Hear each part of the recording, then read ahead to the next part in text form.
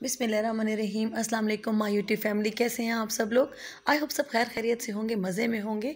तो आज मैं बना रही हूँ बहुत ही मज़े की, झटपट सी रेसिपी, मायो गार्लिक सॉस की, जो कि बहुत ही मज़ेदार लगता है शॉर्मे के साथ, बर्गर के साथ, फ्रेंच फ्राइज़ के साथ, किसी भी चीज़ के साथ। आप इसको इंजॉय कर सकते हैं। तो चलें स्टार्ट करते हैं इसको बनाना। इसके लिए हमने लिया है जनाब एक, मैंने लिया यहाँ पर अंडा। एक कप ऑयल इसमें जाएगा। कुटी हुई लाल मिर्च हाफ़ टी स्पून नमक बिल्कुल थोड़ा सा हाफ़ टी स्पून से भी थोड़ा सा कम, और ये गार्लिक है, जो कि मैंने दो से तीन क्लोव लिए हैं। अब एक ब्लेंडर लेंगे, सबसे पहले अच्छे तरीके से उसको वॉश करके ब्लेंडर में मैंने डाला है लहसुन, उसके बाद एक अंडा, जो मैंने तोड़ के रखा था वो इसमें चला गया। इसके साथ ही इसमें ऐड कर देंगे हम ये नमक, बिल्कुल मैंने थोड़ा सा लिया है, हाफ़ टी स्पून से भी कम है। कुटी हुई लाल मिर्च, हाफ़ टी स्पून या इस पर जायका कर सकते हैं। अब इसको हम चलाएँगे, ब्लेंडर में ब्लेंड करेंगे। बहुत अच्छे से इसको ब्लेंड करेंगे और साथ के साथ इसमें वेजिटेबल ऑयल डालते जाएँगे। कोई भी आप ले सकते हैं, जो भी आप अपने घर में इस्तेमाल करते हैं। और जैसे जैसे ये ब्लेंड होता जाएगा, साथ के साथ इसके अंदर थोड़ा थोड़ा करके हम ऑयल शामिल करते जाएँगे।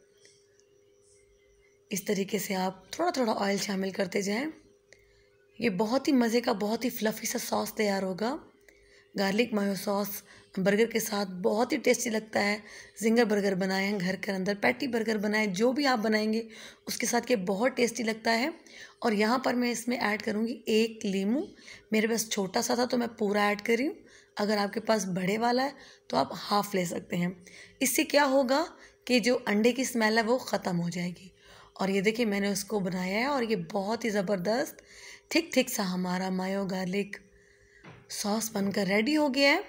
ये देखिए कितना ज़बरदस्त और फ्लफ़ी सा और बहुत ही क्विक हार्डली ती, तीन से चार मिनट लगे हैं इसको ब्लेंडर में ब्लेंड करने में और ये हमारा बहुत ही ज़बरदस्त सा सॉस बनकर तैयार हो गया है।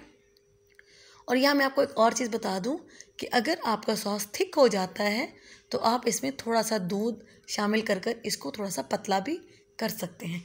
तो लीजिए, बहुत ही ज़बरदस्त, मज़ेदार सा मायो गार्लिक सॉस बनकर तैयार हो गया है। बहुत ही टेस्टी लगता है।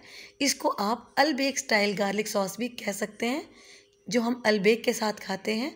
सेम उसका वही टेस्ट है, बल्कि उससे भी बेटर लगता है ये। खाने में बहुत ही मज़ेदार, बहुत ही यमी लगता है।